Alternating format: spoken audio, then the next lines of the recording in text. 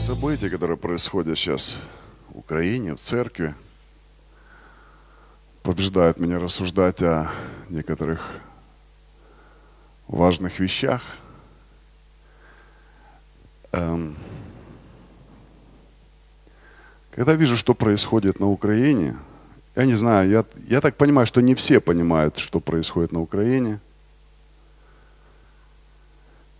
Не все до конца осознают. Где-то кто-то услышал о том, что российские войска отводят от границ, и все расслабились. И хочу, чтобы мы осознавали до конца, что происходит на самом деле. На самом деле идет война. Можете осуждать меня за это, можете не осуждать, это ваше право. Я хочу, чтобы вы реально смотрели на вещи.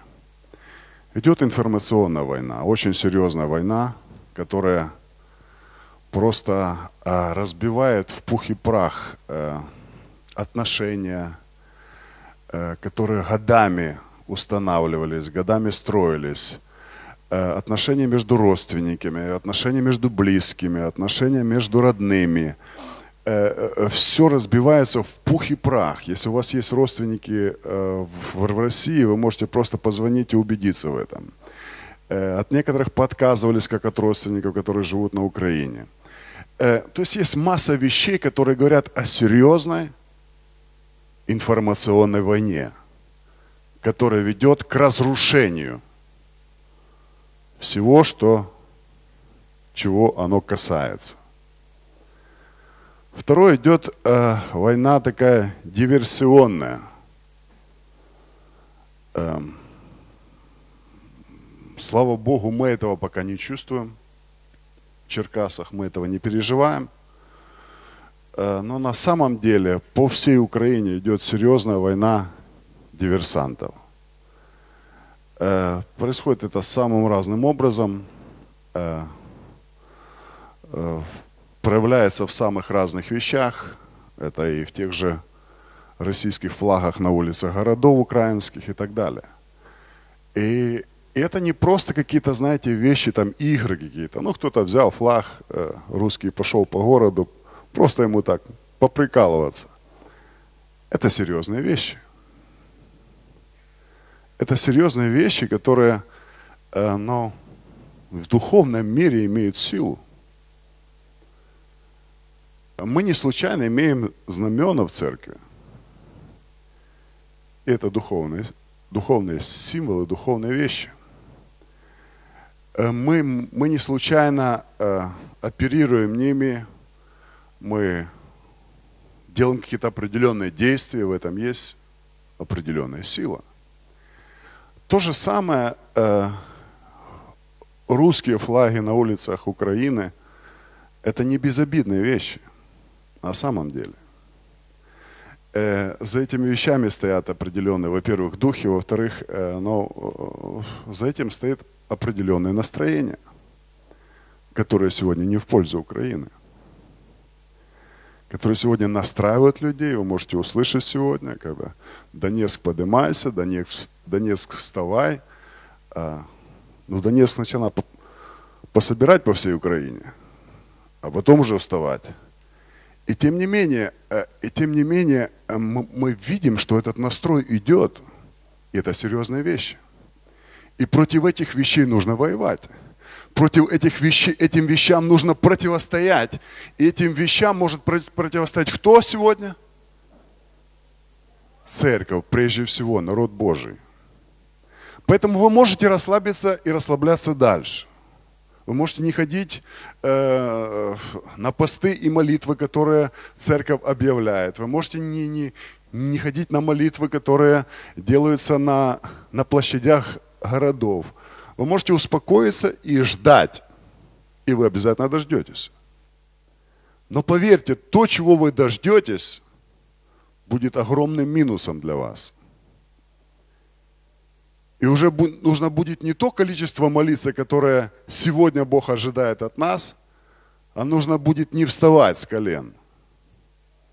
И это будет намного серьезнее. Я не хочу как-то запугивать вас сегодня, но я верю в то, что Божий народ – это мудрый народ. И я верю, что они распознают времена и сроки. Они видят, что происходит, и не закрывают на это глаза. Знаете, э, мы не, не в розовых очках живем сегодня. Мы реально смотрим на вещи. И я бы очень просил церковь соответствовать призванию церкви и быть церковью, несмотря ни на что. Как бы не было трудно, как бы не хотелось, как бы не приходила апатия, как бы не атаковала депрессия, что бы ни происходило в твоей жизни, дорогие мои, мы не имеем права сегодня на то, чтобы просто сидеть дома в депрессии или еще в каких-то вещах, или еще в чем-то. Мы не имеем на это ни малейшего права. Услышьте меня сегодня. Поэтому я хотел бы, чтобы мы все пересмотрели свое отношение э, к нашей земле, отношение э, к Богу, к Его воле, отношение э, к тому, что происходит на Украине, и чтобы мы как-то отождествили себя. Если мы на самом деле воины Иисуса Христа, мы должны отождествить себя с этим. Если мы не верим в то, что Бог силен менять это через молитву, нам нужно идти э, в гвардию, идти в армию, идти куда угодно. Я не думаю, что среди церковных людей очень много э, сегодня людей, которые уже были в военкомате и заявили о своей готовности э, сражаться за Украину. Где-то вы отождествляете себя с церковью, где-то вы отождествляете себя с христианством, и вы понимаете, что вы можете очень много сделать в духовном мире. Я правильно понимаю? Или мы никак ни к чему себя не отождествляем? Нам не хочется идти защищать страну, нам не хочется идти молиться за страну. Где мы? Кто мы? Нам надо ответить на эти вопросы. Это важно. Прежде всего для нас с вами. У каждого из вас есть семьи. У каждого из вас есть бизнеса. Вы имеете работу на сегодняшний день. Всего этого можно решиться, лишиться в один момент. Я хочу, чтобы вы услышали меня. Всего этого можно лишиться в один момент.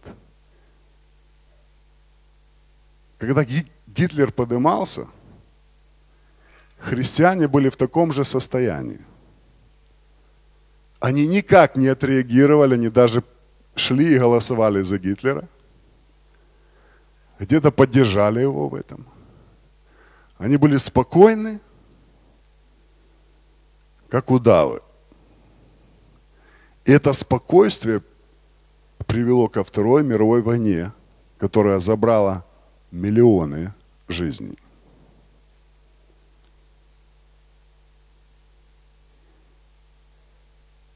И богослов говорит, если бы в то время церковь поднялась, поняла и осознала, что ожидает мир, этого бы не произошло. Послушайте, церковь, мы с вами дети Божьи. Хорошо знаем Слово. Многие из вас имеют стаж по 15 лет. Сегодня модно оперировать этими годами – кто-то приходит и говорит, пастор, я отбарабанил 15 лет, имею право на заслуженный отдых, отдых да? Я насчитал, сколько я отбарабанил уже. Просто, знаете, пришло, думаю, надо саму посчитать. Может, я действительно уже отбарабанил свое. Я 30 лет уже в служении. Сказали сегодня 22 но еще до церкви я служил. 30 лет. Может, хватит барабанить уже? Может, пойти и начать отдыхать?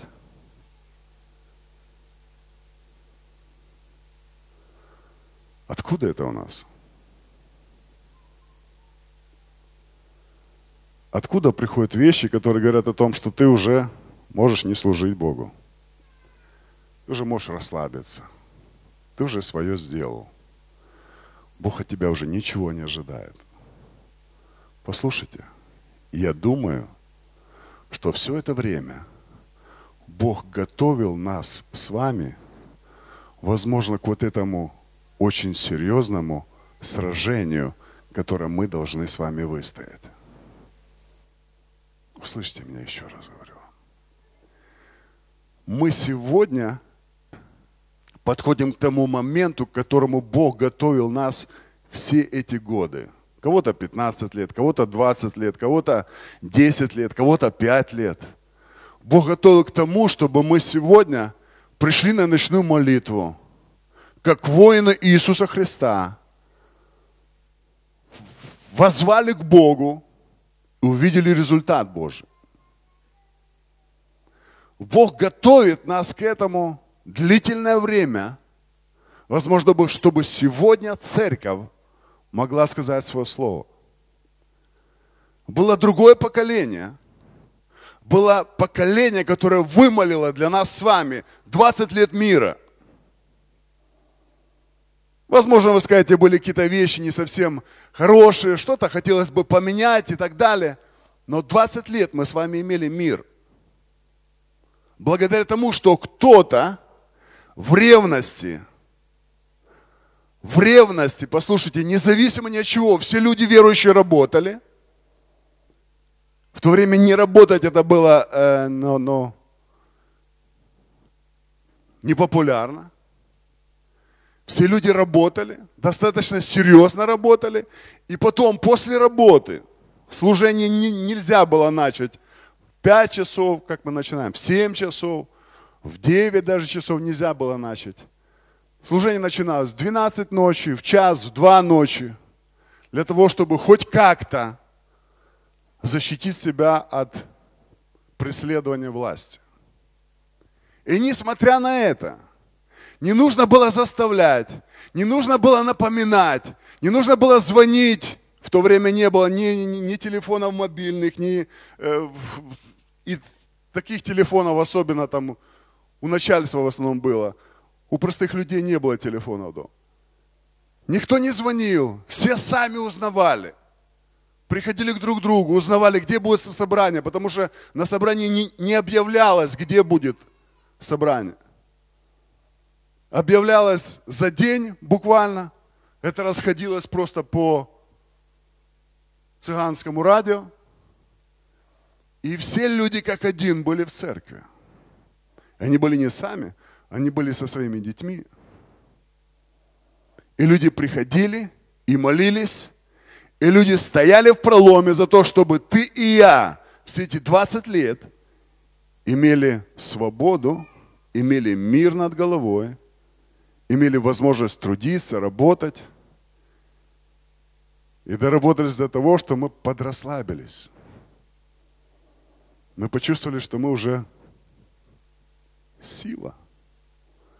Где-то уже без Бога можем обойтись, можем заработать деньги, хорошо провернуться, где-то подняться, купить машины, сделать еще что-то, сделать еще что-то. И знаете, и где-то эм, суета это и желание зарабатывания денег, оно настолько сильно овладело людьми, что на сегодняшний день Ситуация, в которой мы оказались, она не случайная. Это последствия теплости Божьего народа. Как можно изменить эту ситуацию? Это то, о чем я хочу говорить сегодня. Смирение может решить наши вопросы. Послушайте, смирение это не просто слово, с которым ты можешь согласиться. Смирение – это повседневная работа в твоей жизни. Смирение – это что-то особенное, что идет через всю Библию. Это ключ к очень многим дверям. которые, возможно, не открываются сегодня в твоей жизни. И поэтому, если что-то в Библии считается важным, ценным, об этом говорится и повторяется много-много раз. Подобным образом очень часто Писание говорит о смирении. Это может означать лишь одно, что это есть что-то особенное и важное для каждого из нас. Иисус особенным образом выделял смирение.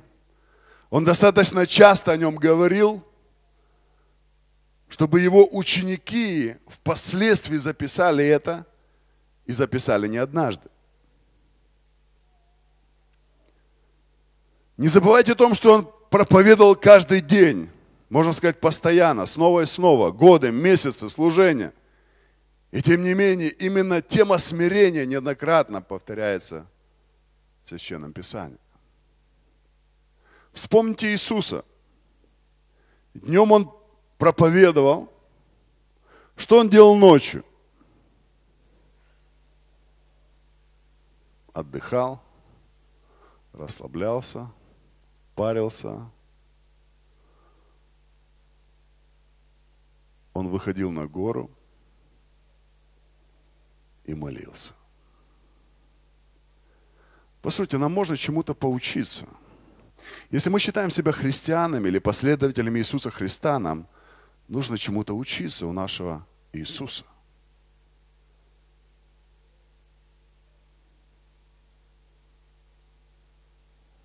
Его проповедь Евангелия начиналась со слов «покайся». Он предлагал покаяться в грехе гордости. Потому что гордость – это противоположность смирению. Поэтому смирение – это качество характера, совершенно противоположное гордости. Более того, Писание говорит, что Бог ненавидит гордость. И Библия говорит, что Бог противится гордым. Вы знаете, мы можем удивляться тому, что иногда мы не получаем какие-то ответы на наши молитвы. Э, мы обращаемся к Богу, молимся раз, два, три, четыре, десять, год, два, три, и не получаем ответа. Иногда мы даже не задумываемся над тем, что есть какие-то вещи, которые могут просто останавливать Божье движение в нашей жизни. И не просто останавливать. Бог может идти против нас.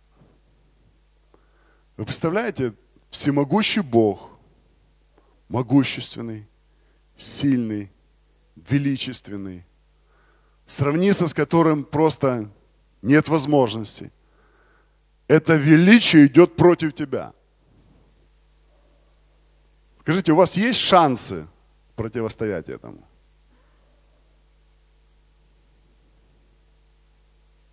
Большинство есть.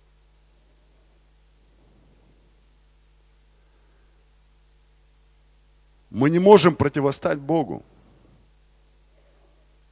Иакова 4 глава 6 стихом говорит об этом. Гордость возглавляет список ненавистных Богу вещей. Притчи 6 глава 16-19 стихом. Притчи 6 глава 16-19 написано так. Вот шесть, что ненавидит Господь, и даже семь, что мерзость душе его. Глаза гордые, язык лживый и руки, проливающие кровь невинную. Сердце, кующее злые мысли, замыслы, ноги, быстро бегущие к злодейству, лжесвидетель, наговаривающий ложь и сеющий раздор между братьями.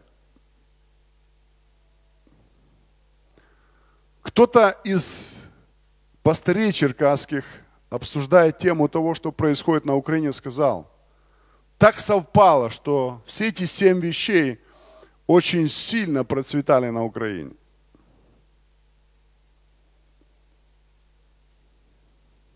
неправедные суды очень ярко прогрессировали на Украине. Люди, сталкиваясь с судами, видели, что если у тебя нет денег, ты ничего никому не докажешь. Страдали невинные люди, которые не имели финансов, чтобы откупиться или заплатить. Наша сестра шла на зеленый свет светофора. В этот момент ее сбивает человек. Вместо того, чтобы помочь ей в больнице, полечить, этот человек пошел, заплатил в прокуратуре, в суде, и в конечном итоге она оказалась еще и виновата. Это такие моменты, которые, с которыми наша церковь сталкивалась. Моменты, о которых мы знаем. А сколько моментов, которых мы не знаем. И так, так совпало, что, что на Украине это происходило. Послушайте, Библия очень четко говорит к нам. Если народ мой, именуемый именем моим, смирится передо мною, то Бог говорит, что сделает?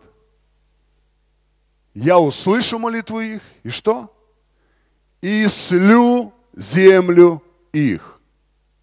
Послушайте, если мы понимаем, что это слово обращено к нам, если мы понимаем, что Бог ожидает от Церкви Божией, это не, не обращение к миру, это обращение к народу, который именуется именем Божьим, это христиане, это люди, которые знают Бога не понаслышке. И именно к верующим людям, к церквам сегодня Божье Слово обращено к тому, чтобы церковь смирилась сегодня. Чтобы церковь услышала сегодня Бога. Чтобы церковь отреагировала на то, что происходит сегодня на Украине. Это Божье ожидание. Вы можете сказать, мы не, не, не занимались неправедными судами. Мы не делали этих семь вещей, которые ненавистны Богу. Но мы жили в стране, где это происходит. Это делал наш народ, где-то наши родственники, где-то наши близкие, где-то еще кто-то. И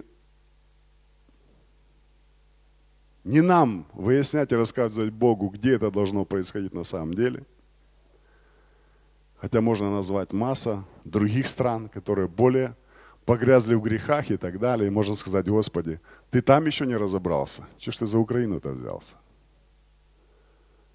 Но мы не вправе рассказывать ему об этом. Мы не вправе говорить Богу, где и с кого он должен начать. Есть вещи, которые мерзкие для Бога. И Бог судится с этими вещами. И я верю, что церковь, она сегодня может занять правильную позицию, если она поймет, что такое смирение. Бог ненавидит гордость, но Он также любит смирение. И в притчах 16 глава, 18 даже сказано, что погибель предшествует гордости. И Иисус постоянно призывал к полному смирению. Важно понимать, что Он подразумевал когда говорил, если кто хочет следовать за мною, отвергни себя, возьми крест свой и следуй за мною. И здесь он говорил о смирении.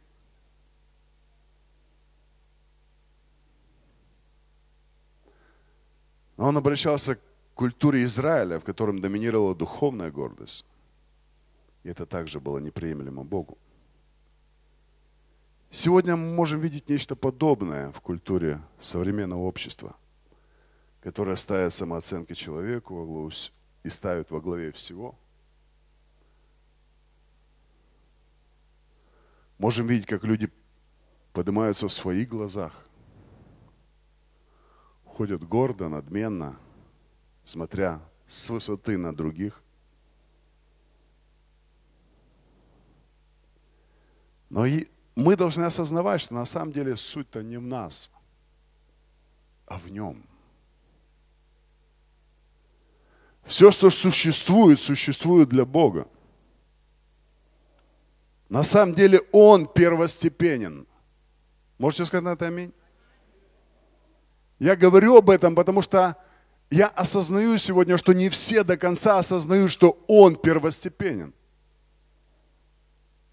Так сложилось, что суета и все окружающее нас поставило нам некоторые ценности, изменило наши ценности, поставило некоторые приоритеты, которые сегодня стоят выше Бога, которые сегодня стоят выше Его ценности. Но Он первостепенен. Он во всем, и без Него все перестает существовать. Не Бог для человека, а человек для Бога. И нам нужно возвратиться к этим вещам. Нам нужно осознать эти вещи. Я скажу даже более, уж у нас с вами нет никакой своей цели. Мы иногда ставим цели и так далее. Без Бога на самом деле у нас нет цели. Мы были сотворены ради Его цели. Сегодня даже это воспринимается как-то эгоистически со стороны Бога, да? Как это так? Сотворить нас ради своей цели. Но это то, что на самом деле должно присутствовать в понимании твоем и моем, в твоем и моем сердце. Вот почему некоторые молитвы остаются у нас неотвеченными. Мы не понимаем до конца, ради чего мы на самом деле должны жить. Что же такое смирение и как его можно обнаружить? Давайте вспомним, как делал Иисус. Когда он хотел что-то разъяснить своим ученикам, он рассказывал им притчи, да? Давайте тоже рассмотрим одну притчу. Чтобы лучше понять, что такое смирение, давайте посмотрим на одну притчу. Мальчик лет пяти-шести гулял с родителями по лесу увидел чистый ручеек. Он напился свежей воды и потом ради забавы взял в руки веточку и принялся мутить воду в этом ручье. Дно было землянистым, и потому на поверхность тотчас же пошел мул, листья опавшие и так далее. И очень скоро этот мальчик потерял интерес к этой воде, она уже была мутной и неприглядной. Он встал и убежал. Немножко выше, в горах был еще один мальчик, который тоже подошел к ручейку, напился воды и начал играться. Но так как дно было каменистым, вода осталась чистой. Послушайте, что-то подобное происходит в наших сердцах. На вид это чистый источник. Как только ты начинаешь там шевелить этой палочкой и делать вещи, которые неприятны этому человеку, начинает подниматься все, что лежит глубоко в нашем сердце. И очень скоро ты понимаешь, этот сосуд на самом деле не такой чистый, не такой приглядный, каким он казался до начала того или иного разговора. Очень важно, чтобы мы с вами были теми источниками, которых Слово Божье, как камни, заложено в наше сердце. Знаете, как мозаикой выложено. Кто бы что ни крутил, чтобы кто не мутил в твоей жизни, ты остаешься чистым источником для Бога. Ты покрываешь любовью, ты прощаешь. Что может произвести такую работу в нашей жизни? Смирение. Когда ты понимаешь, что ну, кто бы ни мутил, кто бы что ни делал, значит, Бог позволил это сделать. Значит, Бог в чем-то испытывает меня. Значит, Бог в чем-то проверяет меня. Я буду оставаться непоколебимым. Я буду просить у Бога помощи, крепости. Я буду вспоминать Слово Божие, которое читаю ежедневно. И это Слово будет делать меня крепким и непоколебимым. Смирение созидает наш источник.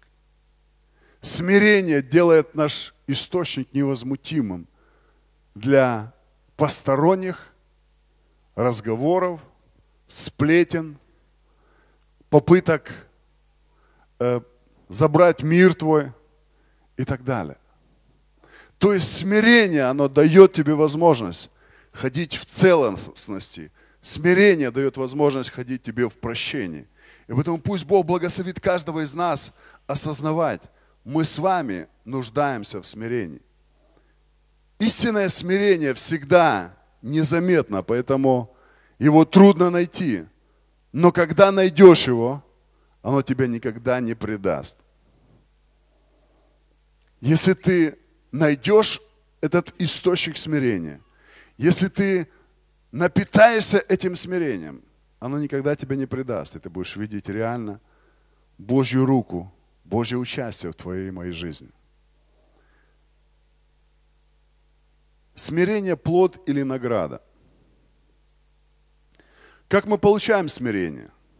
Мы получаем его как дар, безвозмездно, как что-то, чем мы можем пользоваться, не ложа на это никакой цены? Конечно же нет.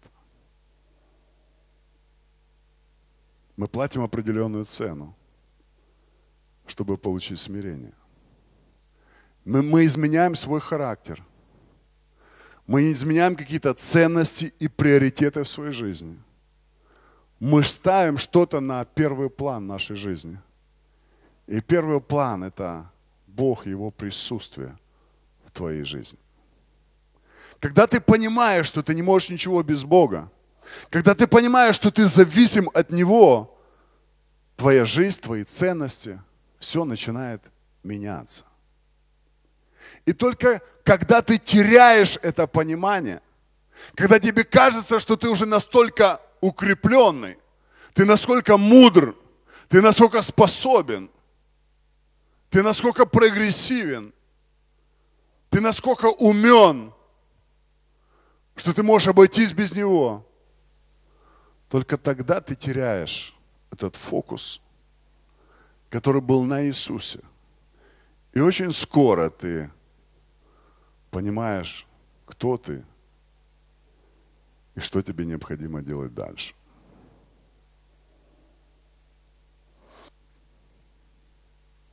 Как и другие благородные качества характера человека, смирение, оно приобретается. 1 Петра, 5 глава, с 5 по 6 стихи. Написано, также и младшие повинуйтесь пастырям. Все же, подчиняясь друг другу, облекитесь смиренно мудрием, потому что Бог гордым противится, а смиренным дает благодать. Итак, смиритесь под крепкую руку Божью, да вознесет вас в свое время. Вот в чем секрет того, почему те, кто много мнит о себе, по сути, бедны духовно, а смиренные, созидающие свои, осознающие свои какие-то недостатки, они поднимаются. Они становятся действительно духовными людьми. Именно, именно смирение, оно приносит такое подлинное духовное богатство. Павел пишет, второе послание Коринфянам, 12 главе, 7 стихом. Второе послание Коринфянам, 12 глава, 7 стихом написано. «И чтобы я не превозносился через чрезвычайностью откровений, дано мне жало в плоть, ангел сатаны, удручать меня, чтобы я не превозносился. Вы можете заметить, что люди, которые получали какое-то доверие от Господа, какой-то лимит доверия, и Бог ставил их на какие-то позиции, они имели всегда какое-то жало для того, чтобы постоянно находиться в смиренном состоянии. И Павел говорит об этих вещах. Многие богословы спорят по этому поводу. Какие, какое жало Павел имел? Есть масса таких э, вещей, о которых они говорят, но тем не менее, он имел это, он ходил в этом, и Бог очень сильно использовал его. Марка 6 глава 4 стих. Иисус же сказал им, не бывает пророк без чести, разве только в отечестве своем, у сродников, в доме своем. Вы помните, что везде, где бы Иисус не ходил, везде ходила толпа, они слушали его, он был для них огромным авторитетом. Они ходили за ним днем и ночью, не постоянно ожидали слова от него. И когда он приходил в свою землю, люди говорили, а не сын ли это плотника нашего, Иосифа? Зачем нам так внимательно слушать его? Это же парень, который вырос среди нас.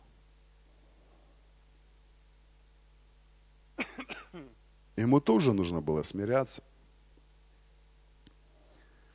Там, где хотелось бы, чтобы люди принимали тебя, твои родственники, твои близкие, твои родные, там Иисусу нужно было смирение. Итак, когда и где нам нужно смирение – Дорогие мне, э, мне очень хочется, чтобы вы эм, понимали, что такое смирение на самом деле. Смирение – это твоя готовность ответить Богу на Его призыв. Смирение – это когда э, ты не сколько э, говоришь о своем «я», сколько говоришь о Его мнении. Тебя больше заботит то, что Он думает о тебе, нежели то, что ты думаешь о себе. Это смирение. Послушайте, находиться в служении – это смирение. 30 лет находиться в служении – это смирение. 15 лет находиться в служении – это смирение. Не смирение, когда ты говоришь, все, Господь, все совершил, все сохранил, теперь готовится мне венец славы. еще лет десять ты ожидаешь венец славы. Это Он говорит нам, когда нам уже достаточно. Это Его голос мы должны услышать. Это не наше мнение. Пришел домой, посмотрел свои блокноты. Вау! Я уже 15 лет в служении. Жена, ты слышишь, я уже 15 лет в служении. Пора на заслуженный отдых. Пора отдыхать. Послушай, это не тебе решать, когда пора, когда не пора. Спроси его. Послушайте, э, я знаю людей, которые по 70 лет уже в служении. Живые люди. 70 лет в служении. Есть люди, которые уже и больше находятся в служении. И у них никогда не было мысли о том, что я уже перетрудился для Господа. Большинство из вас – вы пришли к Богу уже будучи зрелыми людьми.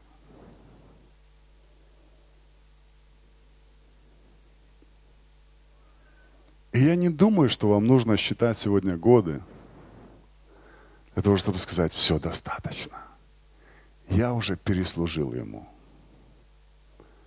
Пусть смирение мотивирует тебя к тому, чтобы делать это снова, снова и снова. Послушайте, эм, Особенно, когда происходили эти события. Мама, я уже говорил, мама звонит регулярно. Она как, как мама. Она говорит, Юра, Ты помнишь, сколько ты уже служишь Богу? Вы помните, когда она уезжала, она тоже э, сделала нам документы, мы тоже должны были уехать вместе с ней. И то, чем мы уговорили маму, мама, мы в служении, мы не можем оставить это все. Первое, что мы говорили, нам нужно поднять людей. Нам нужно люд... поднять людей, которые могли бы нести это все, и тогда мы будем свободны, и мы, и мы поедем. И она говорит, сынок, коли ж уже ты піднімеш їх, конец то концов?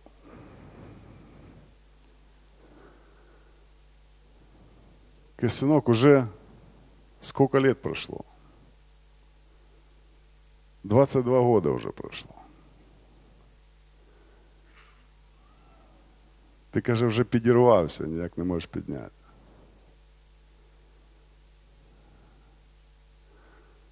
Сейчас она говорит, слушай, ну, ты же сделал дело Божье. Потрудился, люди покаялись, люди поднялись. Бери детей и приезжай. И знаете, если бы я считал, сколько я отбарабанил, я бы, наверное, давно уже так и сделал.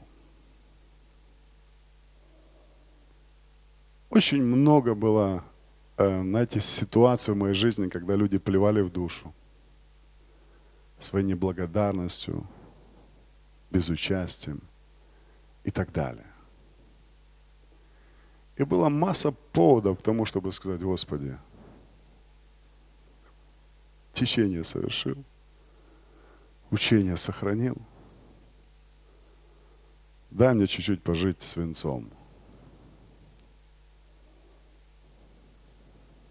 где-то там за океаном.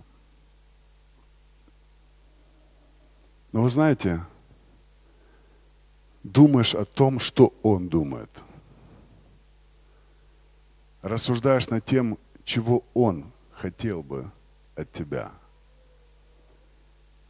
И когда ты думаешь и заинтересован в том, чтобы исполнить его волю, мышление совершенно другое. Ты не думаешь о себе, знаете, больше думаешь о детях уже. И мама говорит, Юра, хотя бы детей отправь. Там уже, уже решили вы, там уже. Хоть детей мне отправь. Я говорю, ну хорошо, мама. Начала там спрашивать, как сделать вызовы там и так далее. Дети подходят ко мне.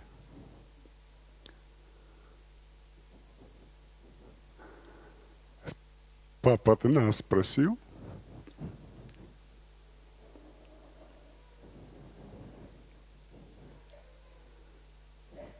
Спросил ли ты нас, хотим ли мы в это время уехать с Украины?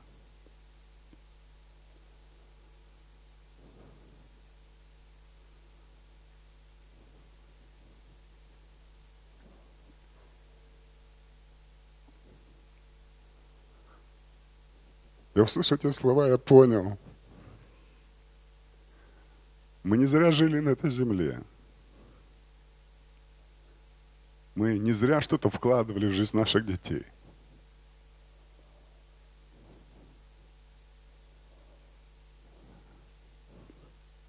Яна, девочка, говорит, папа, если надо будет, мы умрем здесь за эту страну.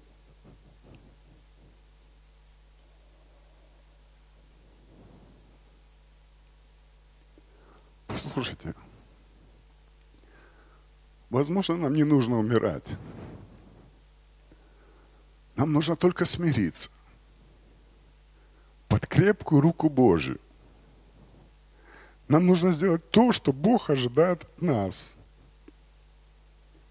Так немного.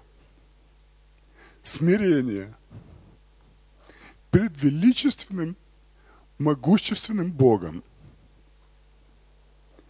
не перед кем-то, кто не имеет никакой силы, кто не имеет никакой власти, кто пытается тебя заставить стать под его власть. Это Бог богов, царь царей, Господь господствующих. Он просит нас смириться под Его крепкую руку. Скажите, Он так много просит от нас? Это сверх наших сил. Нам так тяжело сделать эти вещи. Нам так тяжело быть во время поста здесь, в, этом, в этой церкви, чтобы молиться и ходатайствовать за нашу страну. Нам так сложно выделить время для того, чтобы быть в Его присутствии. Что происходит с нами? Переоцени. Просто сделай переоценку, задумайся над тем, что происходит вокруг. Сегодня Слово Божье говорит, мы можем изменить эту ситуацию. Мы можем изменить эту ситуацию. То, что от нас требуется, так немного. Смирение перед живым и могущественным Богом. Смирение. Узнать Его волю. Узнать, что Он думает обо мне. Узнать, где Он хочет использовать меня. И жить соответственно Его призванию. Это не так много. Но это то, что Он ожидает – это то, через что Он стучит твое и мое сердце. Это то, что Он хочет видеть в своем народе. Бог желает видеть наши перемены. Если народ мой, именуем именем моим, смирится передо мною, я услышу их и исцелю их землю. Мы с вами нуждаемся сегодня в том, чтобы наша земля была исцеленной. Мы нуждаемся в том, чтобы Бог сверхъестественным образом пришел в эту ситуацию, изменил ее. Мы понимаем, что мы зависим от Бога как никогда. Мы все это понимаем. Почему мы зависимы не от Него сегодня? Почему мы зависимы от информации? Войска отошли. Молитвы отошли. Войска подошли молитвы подошли. Послушайте, мы с братьями говорили о том, сколько мы будем молиться на площади. И все в один голос сказали, до выборов это точно. Потому что сегодня все делается для того, чтобы выборы не состоялись, для того, чтобы считать Украину нелегитимной страной, для того, чтобы делать все, что хотят. И при этом говорить о том, что вы нелегитимны. Сегодня говорит, какие выборы, отмените все выборы, давайте референдумы делать. Какие референдумы? Давайте пусть народ, наверное, скажет свое мнение. Пусть люди скажут, что они хотят в плане выборов. Нет. Почему? Потому что Россия хочет, чтобы были референдумы. Понимаете, происходят вещи, которые, которые на самом деле не должны происходить. И для того, чтобы это не происходило, для того, чтобы Бог расставил все на свои места, церковь должна смириться.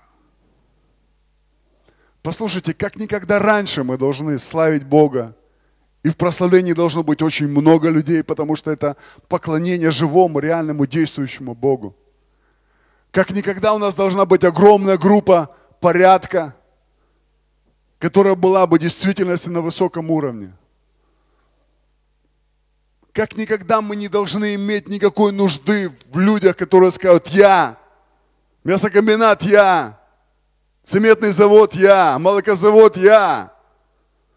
Знаете, сегодня то время, когда Каждый должен сказать, я хочу вложить свою лепту в том, чтобы это смирение, оно пришло.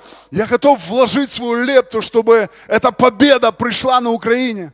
Я готов делать все, чтобы это произошло. Слава Богу за ваше аминь. Я верю, что мы больше и больше начнем осознавать то, что на самом деле происходит вокруг. И что зависит от нас – я не знаю, что еще нужно допустить на Украине, чтобы люди начали бежать в церковь. Я не знаю, что еще нужно сделать, я не знаю, должны взрываться города, заводы, фабрики. Что должно произойти для того, чтобы люди поняли? Нам все-таки нужно смириться перед Богом. Давайте не будем ожидать этих вещей. Давайте не будем ожидать того, что на самом деле может произойти на Украине. Давайте предотвратим эти вещи. И предотвращение – это смирение всего Божьего народа. Предотвращение – это когда весь народ сказал, Боже, мы смиряемся перед Тобой. Все наши ценности, которые были выше Тебя, мы слаживаем. Мы устраняем это все, Боже, потому что на первом плане стоишь Ты и только Ты. Твое дело, Твоя воля, Твои желания прежде всего в моей жизни. Вот это смирение. Когда ты на самом деле понимаешь, что ты зависишь от Него. Псалом 21, во второй, четвертый стихи. Боже мой, Боже мой, для чего ты оставил меня? Далеки от спасения моего слова, вопля моего. Боже мой, я вопию днем, и ты не внемлешь мне ночью, и нет мне успокоения. Но ты святый. Давид находится в отчаянии. Он кричит, Боже мой, Боже мой, для чего ты оставил меня? Он молится днем и ночью, но Бог не слышит его. Он не отвечает ему. И кто-то может сказать, что-то здесь не так. То ли Давид не понимает чего-то. Но то, что Давид понимает, что несмотря ни на что, Бог остается Богом, и Он остается святым. Аминь. И поэтому этот вопль Давида является воплем большинства из нас. Хотя мы боимся себе в этом признаться. Так важно, чтобы ты и я, мы осознали до конца. Все дело в нашем смирении. Молитва не меняет ситуацию. Она меняет нас. Меняет нас, пока ситуация не изменится.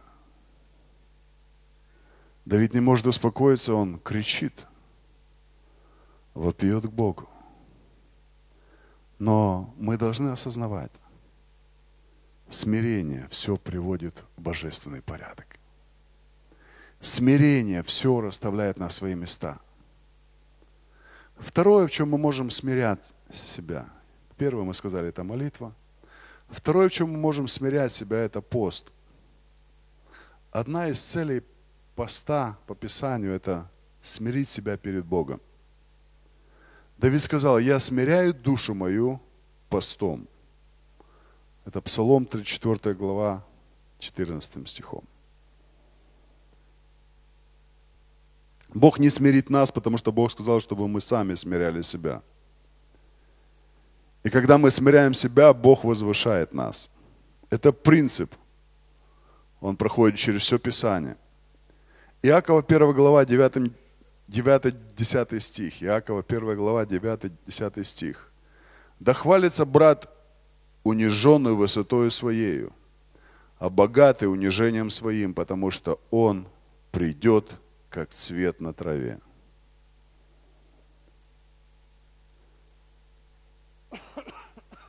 Только смиренному человеку Бог может доверить свою силу. Только человек, который находится в смирении,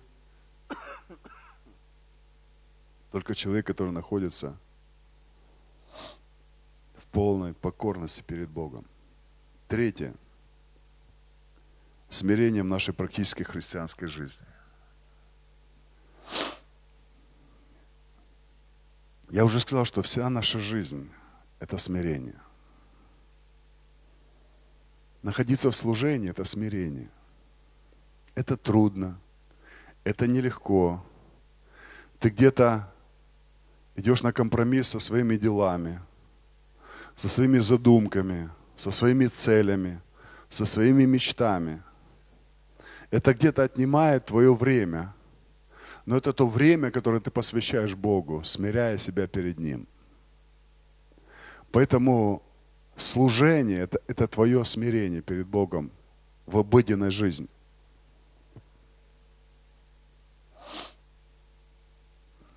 Сегодня ночью слышал, как Тоня кашляла там.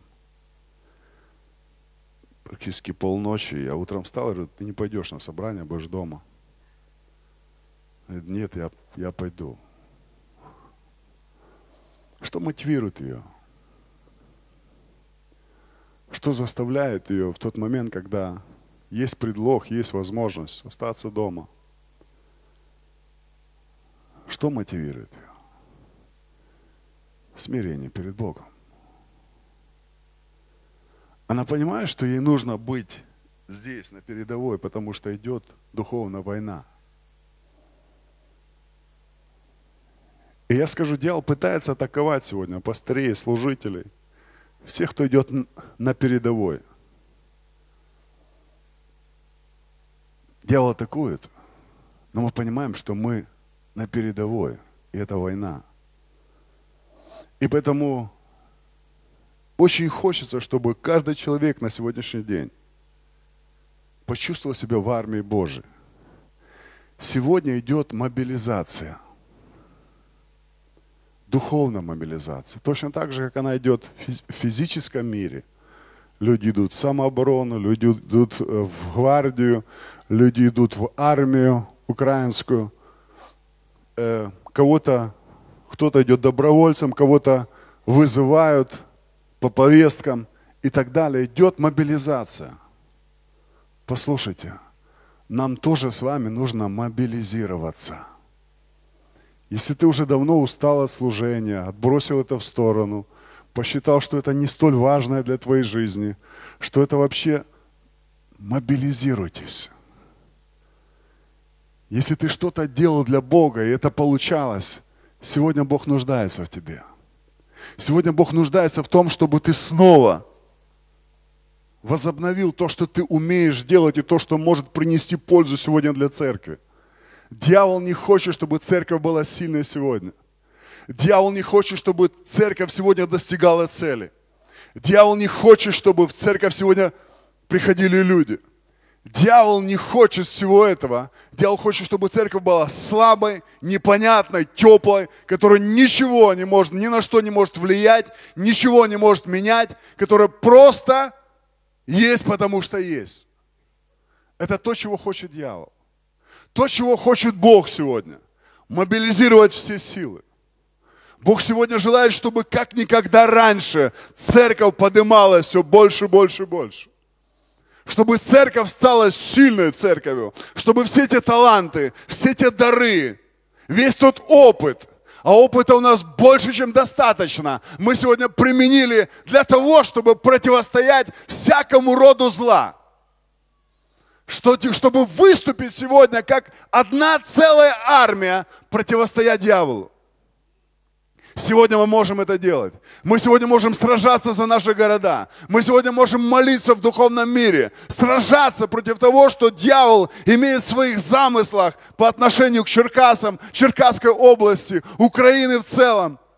Мы можем влиять на эти вещи, если церковь стоит на своем месте. Если церковь занимает позицию, которую Бог дал ей в плане власти, в плане посвященности – такая церковь может влиять очень сильно в духовном мире.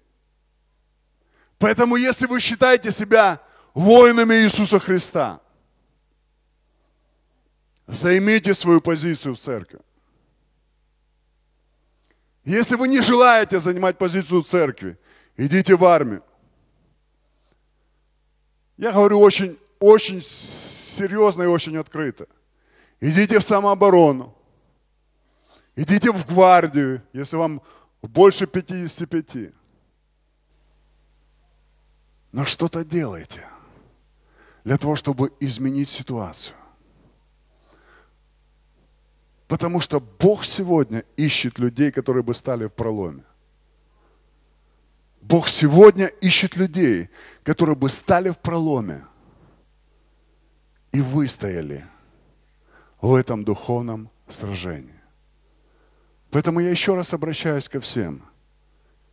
Если вы считаете себя духовными людьми, мобилизуйтесь в его армию. Начните делать то, что вы не делали вчера, позавчера и третьего дня. Если вы занимались группой порядка, и давно уже этого не делаете, видите, что группу порядка можно изменить, начните это делать. Возвратитесь туда, сделайте это. Если вы были в группе прославления или находились э, в других служениях, очень важных служениях, вы влияли на церковь, сегодня возвратитесь и начните влиять. Давайте забудем, кто сколько отбарабанил. Давайте начнем делать дело Божье вместе. Я больше всех вас могу сказать, что я отбарабанил больше всех вас. Но я не говорю этих вещей. И я не буду считать, сколько я отбарабанил для Господа. Я буду барабанить до тех пор, пока барабанится. И советую вам делать то же самое. Не будьте духовными пенсионерами. Такого понятия нет, оно отсутствует. Пенсионеров духовных нет.